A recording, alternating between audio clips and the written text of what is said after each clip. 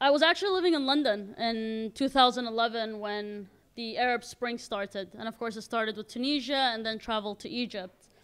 And I remember thinking that this was it, you know, the time for change had come and people were starting to rise up, people were starting to make demands about dignity, about human rights, about social and political change. And I wanted to be a part of it. And so I was working as a human rights defender already here in London as part of the Bahrain Center for Human Rights. And I decided in February to go back to Bahrain after we had already worked on promoting the 14th of February, uh, which you all know is Valentine's Day. For me, that's the anniversary of the Bahraini uprising. Um, and I decided to go back to Bahrain because I wanted to be a part of anything that happens, even though I was at risk of being arrested. And so that's what I did. I packed up my bags and I went to Bahrain. And on the very first day of protests in the country, um, one person was shot and killed.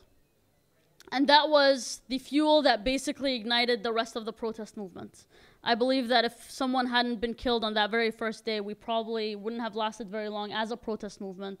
And we probably wouldn't be seeing the continuation of an uprising that we are today, four years after what started in 2011.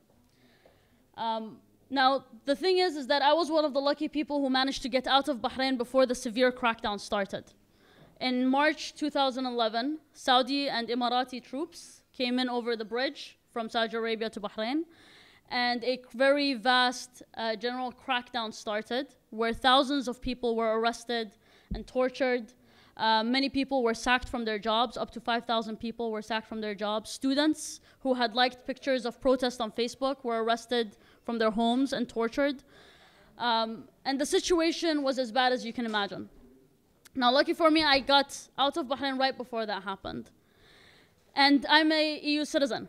And so I had the option of moving back to Denmark, where I'm a citizen, and living my life just like anyone else could live their life in a country that where human rights are actually respected and where you actually matter as a human being. Why did I choose not to do that? For several reasons. One is because many of the people who were being arrested and tortured in Bahrain were people that I knew personally including my father, including my brothers in law, and then later on my sister, who's been in and out of prison since 2011. But there was something more to it than that. What I experienced in 2011, even though I grew up in Europe, uh, where in Denmark we had freedom of speech, we had freedom of associ association, freedom of assembly, I went to Bahrain, and in 2011, what I experienced was something I never thought possible. It was that feeling of being able to breathe again after you had been suffocated for such a long time. And it was that feeling, wanting to feel that feeling again, and wanting to be a part of that movement where you are demanding your dignity from a regime that refuses to give it to you, is what I think, you know, to this day when I think about it, still gives me the adrenaline that I need to keep going with the fight that we're fighting. Now, one of the reasons that we focus a lot of our work here in the UK is because the largest ally to the Bahraini government is the UK government. And just last December, despite the crackdown continuing in the country, um, the UK government announced that they're opening their very first military base in the Middle East and North Africa region in Bahrain. And this is at a time when human rights, the human rights situation is deteriorating in the country where human rights defenders are either in prison or in exile or facing trial, where still if you protest, you get shot with pellets or tear gas, um, and you basically have absolutely no space to freedom of expression, freedom of assembly, freedom of association, all of the very simple rights that in a lot of places we take for granted. But why is it that we continue to do what we do as human rights defenders? I mean, when we say that, you know, Bahrain is a country that is very, very small, with a population of less than a million citizens, to think that we are taking on the UK government um, and we're taking on the US government in our fight for justice and for democracy and for human rights, it seems a bit impossible. Um, with a population like ours and with the limited resources that we have in comparison to what the Gulf countries have and what they can fight us with. So why is it that we continue to do what we do? My inspiration comes from the human rights defenders on the ground. And I wanted to share with you a very quick story before I finish off here.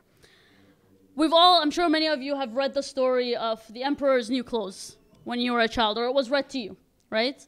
And I'll give you my very brief version of the story. Uh, being a Danish citizen, I think I have the right to rewrite it. Um, but basically, the story is that an emperor decided to have a new outfit, brought in these people to design it. And of course, they designed an outfit that didn't exist. And so when they were finished, and the emperor, um, in all his glory, went out on the streets to show off his new outfit that didn't ex actually exist, um, he walked through the streets being naked. And it was a little boy who was in the audience, and because of his innocence, and probably because he was unaware of the consequences, who stood up and said, The emperor is naked.